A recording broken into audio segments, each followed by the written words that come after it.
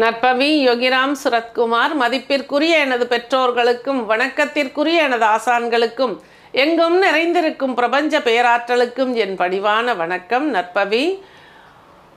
நம்ம வீடுகளில் நம்ம ஒரு விஷயத்தை செய்யணும் அப்படின்னு ஆரம்பிக்கும் போதே வீட் குடும்பத்துக்குள்ளே ஒரு பிரச்சனைகள் அதாவது நம்ம சொல்கிறத ஒருத்தர் வந்து அகேன்ஸ்டாக பேசுவாங்க. நீங்கள் சொல் அது நல்லதாகவே இருந்தால் கூட ஏற்றுக்க மாட்டாங்க. அதேமாதிரி அவங்களுக்குலாம் ஒன்றும் தெரியாது அப்படின்னு சொல்லுவாங்க. இந்த மாதிரி நிறைய குடும்பத்துக்குள்ளே சண்டை சச்சரவுகளை நான் வந்து நான் வந்து இப்போ வாஸ்து கன்சல்டேஷனுக்காக நான் போகிற இடங்கள்லாம் பார்க்குறேன் இதற்கு காரணம் வந்து ஒரு வீட்டோட வடமேற்கும் தென்கிழக்கும் பேலன்ஸ் ஆகாமல் உச்சப்படாமல் இருக்கிறதுனால அந்த இடத்துல இந்த மாதிரி குடும்ப உறவுகளுக்குள்ள ரத்த உறவுகளுக்குள்ள பிரச்சனை.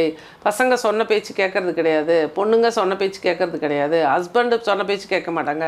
சில இடங்களில் நல்ல விஷயத்த ஹஸ்பண்ட் சொன்னால் ஒய்ஃபு கேட்க மாட்டாங்க.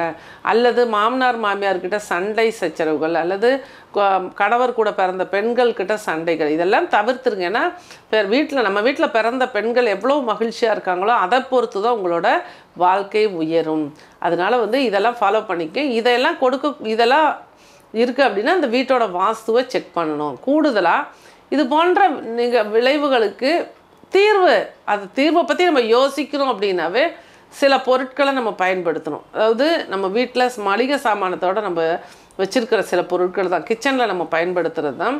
வெந்தயம் சுருள் பட்டை கூடுதலாக டைமண்ட் கல்கண்டு. இதெல்லாம் மூணு சம அளவில் இருபத்தஞ்சி இருபத்தஞ்சி கிராம் வாங்கி ஒரு சிகப்பு திரையில் த துணியில் வச்சு பூஜை அறையில் வச்சு பிரார்த்தனை பண்ணுங்கள் வெள்ளிக்கிழமையில் ஒரு நாள் முழுவதும் அது இருக்கட்டும். இருந்த பிறகு அதை வந்து ஒரு மஞ்சள் கலர் நூலில் போட்டு கட்டி உங்களோட நிலவாசலுக்கு மேலே அமாவாசை நாளில் கட்டுங்க.